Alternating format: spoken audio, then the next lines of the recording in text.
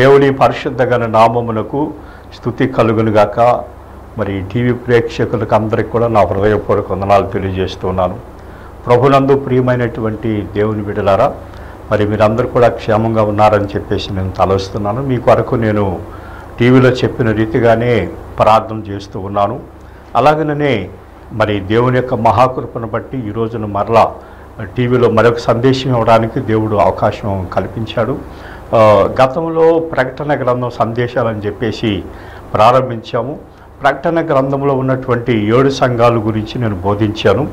అలాగనే ఈ రోజున ఏడు బోరలు కనిపిస్తున్నాయి ప్రకటన గ్రంథంలో. ఈ మొదటి బోరల గురించి నేను చెప్పాలని చెప్పేసి ఆశపడుతున్నాను. ప్రభు చిత్తమైతే ప్రభు వాడుకుని అనేక విషయాలు మీకు అందించాలని చెప్పేసి నేను మరి కోరుకుంటున్నాను. దేవుని యొక్క ఆత్మతో నడిపించబడాలని మీకు ఆత్మీయమైనటువంటి సందేశాలు మధురమైనటువంటి సందేశం మీకు కావాలని మీరు అందరూ కూడా ప్రార్థన పూర్వకంగా ఉండాలని చెప్పేసి నేను మనవి చేస్తున్నాం. దేవుని పరిశుద్ధ నామమునకు స్థుతి కలుగునుగాక ఈ రోజున మన యొక్క ధ్యానాంశము ప్రకటన గ్రంథము ఎనిమిదవ అధ్యాయము ఆరు ఏడు వచనాలు మనం చదువుకుని ధ్యానం చేసుకుందాం. అంతటా ఏడు బోరలు పట్టుకొని ఉన్న ఆ ఏడుగురు దూతలు ఊదటం సిద్ధపడిరి మొదటి దూత బోర ఊదినప్పుడు రక్తముతో మిళితమైనటువంటి వడగండ్లను అగ్నియు పుట్టి భూమిపైన వేయబడెను. అందువలన భూమిలో మూడవ భాగము కాలిపోయెను. చెట్లలో మూడవ భాగము కాలిపోయెను. పచ్చగడ్డ అంతయు కాలిపోయెను.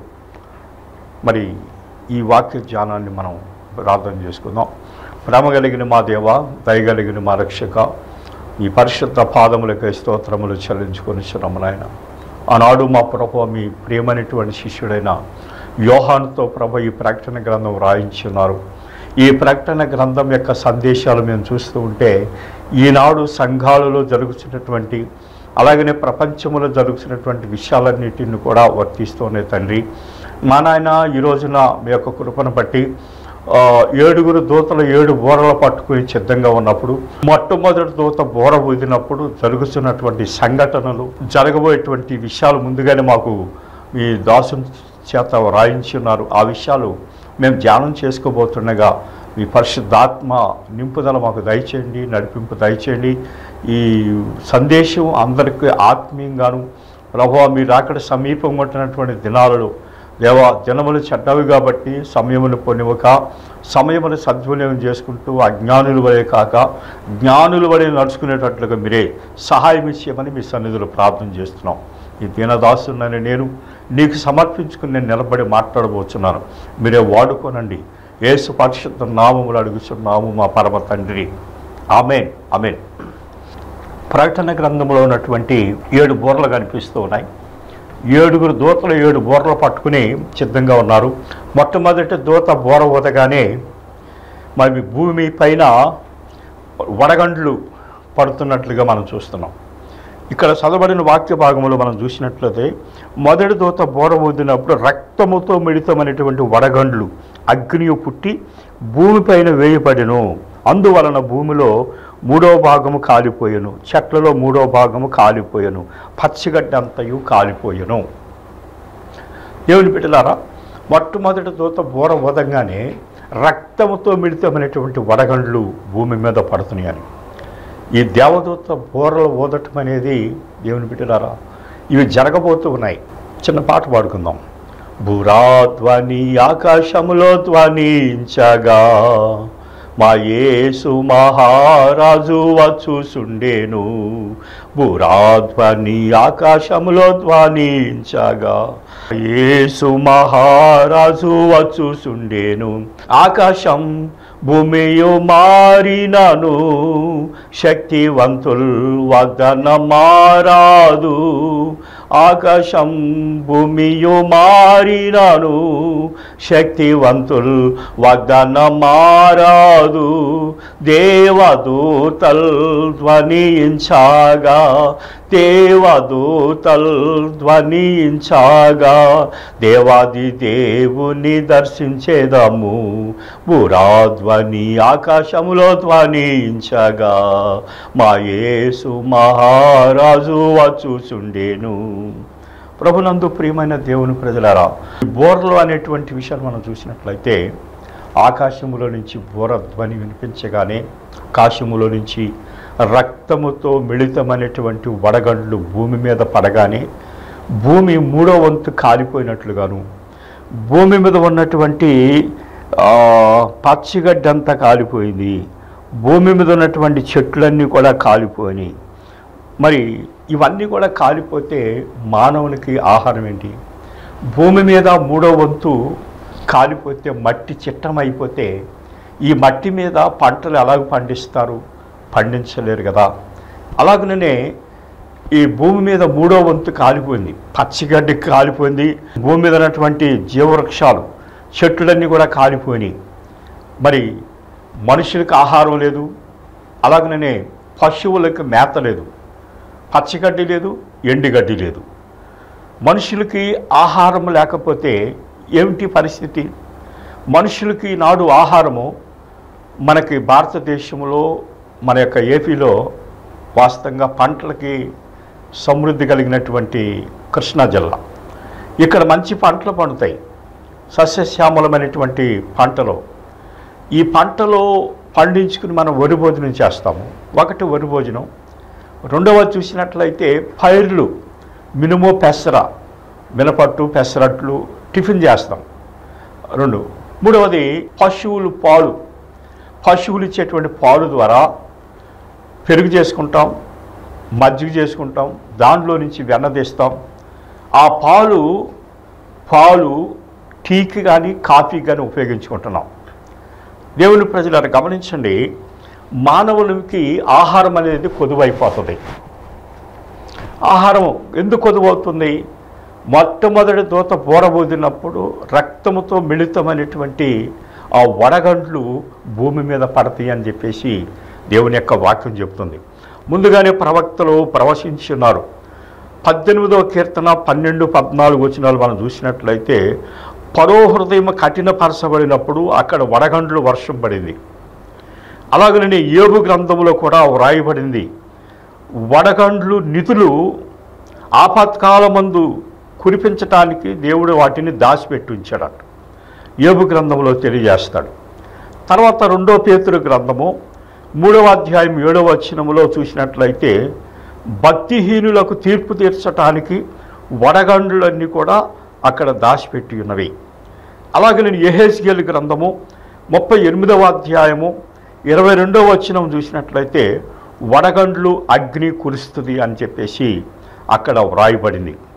అలాగనే రెండవ పేతురు పత్రిక మూడవ అధ్యాయము పదవ వచ్చినప్పుడు మనం చూసినట్లయితే భూమి కాలి చట్టం కట్టుకుపోతుంది అని చెప్పేసి అక్కడ ముందుగానే దేవుడు తన సేవకుల ద్వారా మరి తెలియజేసినట్లుగా మనం చూస్తున్నాం. దేవుని ప్రజలారా ఈ వడగండ్లు అనేటువంటివి నిల్వ చేయబడి ఉన్నవి. ఎప్పుడైతే మొదటి దూత బోర ఊదుతుందో ఒట్టి వడగండ్లు కాకుండా రక్తముతో మిళితమైనటువంటి వడగండ్లు కూర్చను అని వాక్యం చెప్తా ఉంది. ఈనాడు వడగండ్లు అనేక స్థలాల్లో ఇంత మంచుగడ్డలాగా పడతా ఉన్నాయి. ఈ వడగండ్లు వర్షం వస్తే పొలాల్లో ఉన్నటువంటి పశువులు కానీ మేకలు కానీ పారిపోతూ ఉంటాయి. అలాగనే ఈ వడగండ్లు వర్షం అని కాకోకుండానే పైనుంచి వర్షం పడుతుంటే చేపలు కూడా పడుతున్నాయి అని చెప్పేసి కొన్ని చోట్ల సమాచారం. రకరకాలుగా ఇవి జరుగుతూ ఉన్నాయి. ఇక్కడ మొట్టమొదటి దూత బోర ఊదినప్పుడు ఈ వడగండ్లు కాదు కానీ రక్తముతో మిళితమైనటువంటి వడగండ్లు భూమి మీద పడిపోతే భూమి మీద ఉన్నటువంటి మూడో భాగం అంతా కాలిపోతుంది. ఆ మూడో భాగం కాలిపోయినప్పుడు మనకి దున్నటానికి దుక్కు రాదు. పంట పండించుకోవటానికి పంటలు ఈ పంట ఎప్పుడు మనం తినకోకుండా పోతుందంటే ఎహెజ్గల్ గ్రంథం పద్నాలుగవ అధ్యాయము పన్నెండవ వచనములో ప్రవక్త ఎహెజ్గల్ తెలియజేస్తాడు. ఏమంటాడంటే ఏ దేశమైతే విశ్వాసఘాతకమైన దృష్టికి పాపము చేసినదో దానికి నేను జీవనాధారముకు ఆహారము లేకుండా చేసి కరువులు రప్పించి మనుషులను పశువులను సమూల నాశనం చేస్తాను అట్లాంటి దేశములో ఏగు దానియలు నోవాహు లాంటి భక్తులు ఎవరైనా ఉంటే వారిని వారే రక్షించుకోగలుగుతారు తప్ప వారు ఎవరిని కూడా రక్షించలేరు. కనుక దేవుని దృష్టికి ఎప్పుడైతే ప్రజలు వ్యతిరేకమైనటువంటి ప్రవర్తన కలిగి ఉంటారో మూర్ఖపు జీవితాలు జీవిస్తారు దైవ భయం లేకుండా జీవిస్తారు ఇష్టానుసారంగా జీవిస్తారు అప్పుడు దేవుని కోపం ఆనాడు నోబహు కాలంలో కూడా ప్రజల మీదకి దేవుని కోపం వచ్చి కొంత అవకాశం ఇచ్చాడు నోబహు నువ్వు వెళ్ళి నా ప్రజలకు వాక్యాన్ని బోధించు. మరి వాళ్ళు విని నా తట్టు తిరిగితే నేను వాళ్ళ తట్టు తిరిగి నేను వాళ్ళని కాపాడుతాను అని చెప్తే నోవహు ఎన్ని సంవత్సరాలు బోధించినా సరే వారు విననల్లకపోయిరి. అప్పుడు దేవుడు ఆకాశ వాకండ్లు విప్పి నలభై దివారాత్రులు ఆయన వర్షం కురిపిస్తే అప్పుడు దేవుడు చెప్పాడు ఈ విషయంలో బాధపడ్డాడు. హృదయంలో నొచ్చుకుని నేను ఒకేసారి ప్రజల్ని నాశనం చేయను అంతం చేయను అని నోవాహుతో ఒక నిబంధన చేశాడు.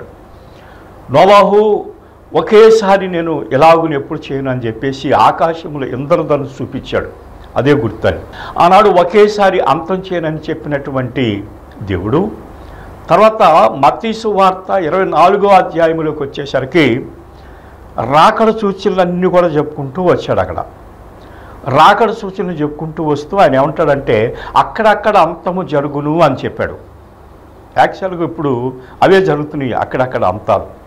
ఎంత ఘోరమైనటువంటి విషయాలు జరుగుతున్నాయి అంటే ఇవన్నీ కూడా ప్రభు రాకడ సూచనలు అనేటువంటి విషయాన్ని శ్రోతల విశ్వాసులు గమనించి దేవుని ఎందు భయభక్తులు కలిగిన జీవితం జీవించడం మంచిదనేటువంటి. ఏ దేశమైతే విశ్వాసఘాతకమై నా దృష్టికి పాపము చేసినదో అంటున్నాడు దేవుడు. దేవుడు ప్రజల ప్రజల్లో పాపం ఎక్కువైపోతే దేవుడు విడిచిపెట్టడు. దేవుడు అనేక విధాలుగా వారిని సరిచేయటానికి పాపాలు విడిపింపజేయటానికి ప్రవక్తలను సేవకులను దేవుడు ఉపయోగించుకుంటూ ఉంటున్నాడు. అయితే మనకు రానున్నటువంటి దినాల్లో నిజంగా ప్రభు చెప్పిన విధంగానే అక్కడక్కడ అంతం జరుపుకుంటూ వస్తూ ఉన్నది. క్రైస్తవులమైనటువంటి మనము ఈ లోకంలో మనం జీవిస్తున్నాము ఎలక్షన్స్ దగ్గరకు వస్తున్నాయి. పెద్ద పెద్ద నాయకులు పెద్ద మేధావులు అంటున్నారు. అయ్యా బీజేపీ వస్తే మన పని కాలేని క్రైస్తవుల పని.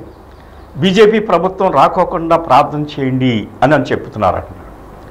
నేనేమంటానంటే నా నా అనుభవంతో రావద్దని ప్రార్థన చేయటం రమ్మని ప్రార్థన చేయటం మనవంతు కాదు. ఒకవేళ మనం చేసినా ప్రభు యొక్క సంకల్పాన్ని నెరవేరుస్తాడు. ఎందుకో తెలుసా? ఒకప్పుడు ఇస్రాయేలుడికి ఒక రాజు వద్దని దేవుడు చెప్తే మాకు ఆ రాజే కావాలన్నారు. ఆ రాజుని దేవుడు ప్రజలు కోరుకున్నట్లుగా ఇస్తే ఆ రాజు వీళ్ళని ఎన్ని హింసలు పెడుతున్నారో ఎన్ని శ్రమలు పెడుతున్నారో మరలా తిరిగి దేవుని దగ్గరికి వచ్చి మోకరించి వాళ్ళు ప్రార్థనలు చేసి జ్ఞాపన చేస్తే దేవుడు వారిని తప్పించాడు ఆ రాజును వాళ్ళకి తప్పించాడు. అలాగే నేనేమంటానంటే బీజేపీ మళ్ళీ వచ్చిందంటే జల్లెడు పట్టినట్టు మనకు గుర్తు. ఎందుకనంటే ఈనాడు దేవుని యొక్క వాక్యం చెప్తా ఉంది. అనేక మంది క్రైస్తవులు అనబడుతున్నారు. ఏమండి ఈ కులగడన అనేటువంటిది పెట్టినప్పుడు చాలా వరకు ఎయిటీ పర్సెంట్ చేరిపోయారు బీసీసీలా ఎస్సీనా అనేటువంటి తేలిపోయింది ఇది ఒక చిన్న పరీక్ష మనకి. అలాగనే ఇంకా పరీక్షలు ఉన్నాయి మనం. లవదీక సంఘములు మనం గతంలో ధ్యానం చేసినటువంటి విషయం ఏంటంటే ఒక క్రూర మృగం వస్తుంది ఆ క్రూర మృగానికి మొక్కినటువంటి వారు ఆ ముద్ర క్రూర మృగం యొక్క ముద్ర ఎంచుకున్నటువంటి వారికి శ్రమలు అనేటువంటి విషయం మనం గతంలో విన్నాం. అలాగనే ఈ ప్రపంచం యొక్క పరిపాలన దేశ పరిపాలన నాయకులు మనుషులు ఈ ప్రపంచాన్ని చూస్తున్నటువంటి దేవుడు. ఇదిగో నేను త్వరగా వస్తున్నానని చెప్పేసి మనల్ని చక్క పెట్టుకోవడానికి హెచ్చరిస్తున్నాడు దేవుడు. ఆయన అంటూ ఆయన రాకడ ఆలస్యం చేస్తున్నాడు అని అంటే మనం ఆయన యొక్క రెండవ రాకడ గుర్తులు చెప్పాడు కాబట్టి ఆ గుర్తులన్నీ కూడా మనం తెలుసుకుని ప్రభు రాకడకు మనం చిత్తపడవలసినటువంటి వారమై ఉంటున్నాం. దేవుని ప్రజలారా ఇంకా ఈ భూమి మీద వడగండ్లు రక్తంతో మిళితమైనటువంటి వడగండ్లు పడితే భూమి మీద ఉన్నటువంటి పచ్చిగడ్డి కాలిపోతే ఈ చెట్లన్నీ కూడా కాలిపోతే మనకి ఆహారం లేదు వరి ఆహారం లేదు చెట్ల యొక్క ఫలాలు ఆహారం అనేటువంటిది మనకు లేదు. సో రెండవది ఈ పశువులకి ఆహారం అనేది లేదు. పచ్చిగడ్డి కాలిపోతుంది ఎండుగడ్డి అంతా కూడా కాలిపోతుంది. కాలిపోయినప్పుడు దేవుని ప్రజలారా ఆహారం అనేటువంటిది లేదు. మనకు వరి భోజనం లేకుండా అయిపోతే సరే పాలు కాఫీ టీ తాగి బ్రతుకుతామని అనుకుంటే ఆ పశువులకి మేత లేక పశువులు అల్లాడిపోతాయి పాలు ఇవ్వవు. ఈ పశువులు పాలు ఇవ్వక పాల కూడా మూతపడిపోతాయి అని చెప్తున్నారు. నిజంగా ఈ పాలు వలన మనుషులు ఎంతోమంది జీవిస్తున్నారు. పొద్దున్నే లేచి ఒకప్పుడు సద్దనం తినేవాళ్ళు గంజి తాగి పొలాలు వెళ్ళేవాళ్ళు. ఈనాడు పొద్దున్నే లేచి టీ స్టాల్ తీశారా? టీ హోటల్స్ తీశారని. పొద్దున్నే లేచి టీ తాగితే కానీ వాళ్ళ పనులు వాళ్ళు చేసుకోలేరు. అలాగనే ఈ హైవే రూట్లు పడిన తర్వాత మరి హైవే రూట్లు వారు ఈ టీ క్యాంటీన్లు పెడుతున్నారు. ఈ బస్సులు పగలు రాత్రులు తిరుగుతాయి లారీ డ్రైవర్లు ఇంకా విపరీతంగా తిరుగుతారు. వీళ్ళు ఎక్కడైతే అక్కడ వీళ్ళకి దాహం అయ్యి వీళ్ళకి నీరసం వచ్చి టీ అన్న తాగుదామని చెప్పేసి టీ స్టాల్ దగ్గర ఆగిపోతారు. మరి కేంద్ర పాలు కేంద్రాలు మూసివేయబడతాయి. పాలు లేకపోతే టీ హోటల్స్ అన్నీ కూడా మూతవేయబడతాయి. మానవులకి ఏమిటి ఆహారం? పచ్చగడ్డి లేదు ఎండిగడ్డి లేదు పశువులు అల్లాడిపోతాయి అని చెప్పేసి దేవుడి యొక్క వాక్యం. ఏవేలు గ్రంథము మొదటి అధ్యాయం ఎనిమిది తొమ్మిది వచనాలు చూసినట్లయితే పెనిమిటిపోయినటువంటి యవనస్త్రాలు ఏ విధంగా అంగలార్చి ఏడుస్తుందో ప్రజలు అలాగే ఏడుస్తారని చెప్పేసి వాక్యం చెప్తాం. అలాగని ఏవేలు గ్రంథము మొదటి అధ్యాయము పదిహేడు నుండి పంతొమ్మిది వచనాలు మనకు చూసినట్లయితే దేవుని ప్రజలారా అక్కడ నోరు లేనటువంటి పశువులు కేకలేసి అరుపులు కేకలు. అక్కడ భయంకరమైనటువంటి పరిస్థితులు దేవుని బిడ్డలారా. ఈ వాక్యాలు మీరు తర్వాత చదువుకోండి. ఎందుకంటే మనకి టీవీ సమయం ఎక్కువ ఉండదు కాబట్టి నేను రెఫరెన్స్లు చదివించటం లేదు. ఈ ఏవేలు గ్రంథంలో మనం చూసుకున్నట్లయితే ఈ మొదటి బోర ఊదినప్పుడు జరుగుతున్నటువంటి సంఘటనలు మూడవ భాగం భూమి అంతా కాలిపోతే దేవుని ప్రజల పంట లేదు. అలాగనే ఫలాలు లేవు. అలాగనే పచ్చగడ్డి లేదు ఎండుగడ్డి లేదు. అటు మనుషులకు ఆహారం లేదు. పశువులు పాలిచ్చేది కూడా లేదు. పాలు లేక టీ లేక కాఫీ లేక పరిస్థితులు మనకి రాబోతున్నాయి. గనక సహోదరి సహోదరుడా దేవుని యొక్క రాకడ బహు సమీపముగా ఉన్నది. దేవుని యొక్క రాకడ సూచనలు కనిపిస్తూ ఉన్నాయి. దేవుని యొక్క రాకడను గురించి యూదుల చరిత్రను తెలుసుకుంటే క్లుప్తంగా. చూడండి ఎర్షిలేములో ఒకప్పుడు టైటర్స్ అనేటువంటి చక్రవర్తి యూదులను చెదరగొట్టేశాడు. ఎర్షిలేం దేవాలయాన్ని ధ్వంసం చేశాడు. అదే ప్లేస్లో మసీదు కట్టారు. యూదులు అక్కడ లేరు అందరూ చెదిరిపోయారు. యూదుల చరిత్ర చూసినట్లయితే ప్రభు ఎప్పుడు వస్తాడు అని అంటే చెదిరిపోయిన యూదులందరూ మరలా జెరూసలేంలోకి వస్తారు. వాళ్ళు అక్కడ మందిరం కడతారు. మందిరం కట్టినాక ఒక పశువును వధిస్తారు. పశువును వధించిన తర్వాత అందులోకి వీళ్ళందరూ కూడా యూదులు రాబోతున్న మెస్సే వస్తాడని ఎదురు చూస్తారు కానీ మోసపోతున్నారు వీళ్ళు. రాబోతున్న మెస్సే కాదు అక్కడికి అంత్యక్రీస్తు వస్తాడు. అంత్యక్రీస్తు వచ్చి వీళ్ళని చాలా శ్రమలు పెడతారు. కాబట్టి దేవుని ప్రజలారా ఇప్పుడు ఇజ్రాయేల్ ప్రజలకుని పాలస్తీన్లకి యుద్ధం జరుగుతుంది. ఎందుకు జరుగుతుందంటే ఇజ్రాయెల్ దేశంలో నెహమియా అనేటువంటి రాజు నతన్యా అనేటువంటి రాజు మందిరం కట్టడానికి ప్రిపేర్ అయిపోతున్నాడు. చుట్టుపక్కల దేశ నాయకుల యొక్క సహాయ సహకారాలు తీసుకుంటున్నాడు. చెదిరిపోయినటువంటి యూదులు చాలా వరకు వచ్చేసారు పడిపోయిన మందిరం మళ్ళీ కట్టుకుందాం అనేసేసరికి వాళ్ళందరూ కూడా ధారాళంగా ఇచ్చేసేస్తున్నారు. మందిరం కట్టడానికి రెడీ అయిపోతున్నారు. యూదుల చరిత్ర ప్రకారం చూసినట్లయితే ఈ మందిరం ఇరవై నాలుగు గంటల్లో మందిరం కంప్లీట్ అయిపోవాలి. ఈ మందిరం కంప్లీట్ అయిపోయిన తర్వాత ఈ మందిరములో ఒక ఎర్రటి ఆవును వధించాలి. ఎర్రటి ఆవు పశువుని అక్కడ వధించాలి. ఈ ఎర్రటి ఆవుకి ఒక వెంట్రుకు తేడా ఉండకూడదు. నలుపు వెంట్రుకు కానీ తెలుపు వెంట్రుకు కానీ ఉండకూడదు. అలాంటి ఆవు పేరు కనుగొన్నారు ఇజ్రాయేలీలు. కనుగొని అమెరికా దేశంలో పెంచారు. జాగ్రత్తగా వాటిని పెంచి మళ్ళీ ఇజ్రాయెల్ దేశానికి తీసుకొచ్చారు. అడేగా దాశారు ఈ పాలస్తీనీలు ఏంటంటే మళ్ళా తిరిగి వాళ్ళు ఎరుషులేం కట్టుకుంటున్నారు కాబట్టి ఆ ఎరుషులేములో ఈ యొక్క ఎర్రటి పెయిను వధించకూడదు. వాటిని చంపేయాలని అందుకని వాళ్ళు యుద్ధం రేపారు. ఆ యుద్ధంలో దేవుని ప్రజల అనేక పట్టణాలు అనేక ఆస్తులు ధ్వంసం అయిపోతున్నాయి. వీరు ఏటి కోసమైతే యుద్ధం చేస్తున్నారో వేటిని సంపాలని వాళ్ళు మందిరం కడతారు. ఆ మందిరంలో ఈ ఆవు పేను వధిస్తారు. ఈ ఆవు పేలు ఎక్కడ దొరకు తెచ్చుకున్నారు వీళ్ళు వాటిని సంపాలని బాంబులు వేస్తున్నారు కానీ ఇస్రాయేలీలు ఆ ఆవుల్ని ఎక్కడ కనపడకుండా దాచిపెట్టి ఉంచారు. ఈ మందిరము కంప్లీట్ అయిపోతుంది. ఇరవై నాలుగు గంటల్లో మందిరం పూర్తి అవుతుంది అన్ని సామాగ్రి రెడీ చేసుకున్నారు. ఈ మందిరము రెడీ అవుతుంది. ఈ మందిరానికి ఆ యొక్క ఎర్రటి పెయ్యను ఆవు పెయ్యను వధిస్తారు. అప్పుడు దాంట్లోకి అంత్యక్రీస్తు వచ్చి సొరబడతాడు అంత్యక్రీస్తు నేనే క్రీస్తునని చెప్పేసి ఉంటాడు. ఈ యూదులు రాబోతున్న మెస్సియా అని చెప్పేసి వీళ్ళు ఆశపడతారు. దేవుని ప్రజలారా వీళ్ళు ఆశపడుతూ ఉంటారు. ఒకటి చరిత్ర అలా దగ్గరకు వచ్చింది. రెండో విషయం చూసినట్లయితే దేవుని ప్రజలారా మన దేశం యొక్క పరిస్థితులు ఎలాగున్నాయనంటే మన రాజధానిలో మన కేంద్రము రామాలయం కట్టింది. రామాలయం మామూలుగా కట్టలేదు అది. మహా అద్భుతమైనటువంటి ఖర్చుతో కూడినటువంటి ఖర్చుతో రామాలయం కట్టారు. ఆ రామాలయము భారతదేశం అంతా కూడా ఒకే దేవుడై ఉండాలనేటువంటి నినాదం అక్కడ ప్రారంభమవుతుంది. అలాగనే ఈ భారతదేశంలో క్రైస్తవులు కానీ ముస్లిమ్స్ కానీ మైనారిటీస్ ఉండడానికి వీలేదు ఒకవేళ ఉన్నా వాళ్ళందరూ కలిపి ఒకే దేవుణ్ణి రాముణ్ణి ఆరాధించాలి. అనేటువంటి నినాదం అక్కడ ప్రారంభమవుతుంది. అందుకనే మన పెద్దలు అయ్యా మరలా బీజేపీ వచ్చిందంటే మన క్రైస్తవులను పిండేస్తారు. హింసలు వస్తాయి ఇప్పటికే.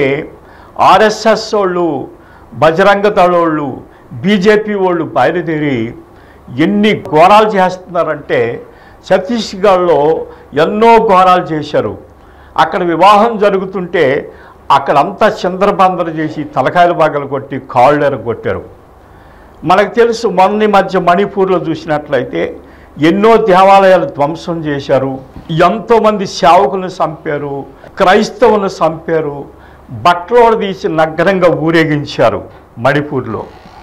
దానికి ఒక ప్రధాని కానీ ముఖ్యమంత్రి కానీ నోరు తెరవలేదు. అలాగనే క్రిస్టియన్ ముఖ్యమంత్రులు ఎవరైనా ఉంటే వాళ్ళు కూడా నోరు తెలిసినటువంటి దాఖలాలు లేవు. మణిపూర్లో అలా జరిగింది ఛత్తీస్గఢ్లో అలాగ జరిగింది. మొన్న మధ్య తెలంగాణలో దేవుని ప్రజలారా అక్కడ భయంకరమైనటువంటి పరిస్థితి. క్రైస్తవుల మీద దాడులు జరిగినాయి. క్రైస్తవుల మీద దాడులు జరిగి కొంతమంది శవబ్రతులు కనుపూర్లో ఉన్నారు. అనేక మంది గాయాలు పాలైపోయి రక్త అయిపోయి ఉన్నారు అక్కడ. వాట్సాప్లో చూస్తున్నాం ఇవన్నీ కూడా. అలాగే మొన్న మధ్య తిరుపతిలో ఒక రూరల్ గ్రామంలో యేసు దేవాలయం అనేటువంటి దేవాలయంలోకి ఈ బజరంగ దళ ఈ ఆర్ఎస్ఎస్ వాళ్ళు వెళ్ళిపోయి వాళ్ళని అక్కడ కొట్టేసి చర్చి యొక్క తలుపులు బద్దలు కొట్టి కిటికీ తలుపులు బద్దలు కొట్టేసి దేవుని ప్రజలారా బద్దలు కొట్టి అక్కడ పాస్టర్ గారి కారు చర్చి ముందు పెడితే దాన్ని బద్దలు కొట్టేసి పాస్టర్ గారికి వార్నింగ్ ఇచ్చారు. నేను చంపేస్తామని చెప్పేసి ఆ పాస్టర్ గారికి వార్నింగ్ ఇచ్చాడు క్రైస్తవుల మీద జరుగుతున్నటువంటి దాడులు ఎలాగునున్నాయి ఇవి ఎలాగుంటున్నాయి కాబట్టి మళ్ళీ ఈసారి బీజేపీ ప్రభుత్వం కనుక వస్తే మన క్రైస్తవుల యొక్క పరిస్థితి ఏమిటి గనక మీరు ప్రార్థన చేయండి అని చెప్పేసి అనేక మంది నాయకులు వాట్సాప్లో పెడుతున్నారు ప్రార్థన చేయాలని. అధికారుల ద్వారా మనకు న్యాయం లేకపోతే మన ప్రయత్నం మనం చేయాలి. అడుగుడి మీకు ఇవ్వబడిన దేవుని యొక్క వాక్యం. మనం అడుగుదాం ప్రభు చిత్తం మన దేవుని యొక్క సంకల్పం ఏమై ఉన్నదో. ఆయన ఒకవేళ జల్లుడు పట్టాలనుకుంటున్నాడేమో క్రైస్తవులు ఎవరు నిలబడతారు ఎవరు నిలబడరు అనేటువంటిది. అందుకని ప్రభు మనకు చెప్పిన మాట ఏంటంటే ప్రకటన గ్రంథంలో ఉంటే చల్లగా ఉండు లేకపోతే వెచ్చగా ఉండు. నులివెచ్చని స్థితి మాత్రం నాకు అసహ్యం అన్నాడు మరి నులివెచ్చని స్థితిలో ఎలా ఉంటే ఎట్లా చెప్పండి. ఒక రైతు కోత కోసి కుప్పగొట్టిన తర్వాత రాసుని పోత పోస్తాడు. తప్పలన్నీ పోతే ఒడ్లు మాత్రం మిగులుతాయి అక్కడ. మరి తప్పల ఒడ్లు కలిసి ఉంటే దానికి రేటు రాదు కదా.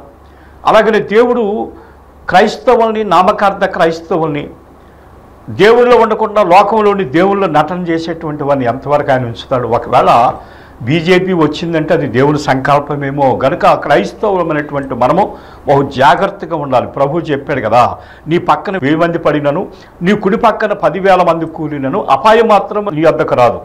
నిన్ను కాపాడువాడు కొనుకడు నిద్రపోడు. నువ్వు ఏం భయపడాల్సినటువంటి పని లేదు.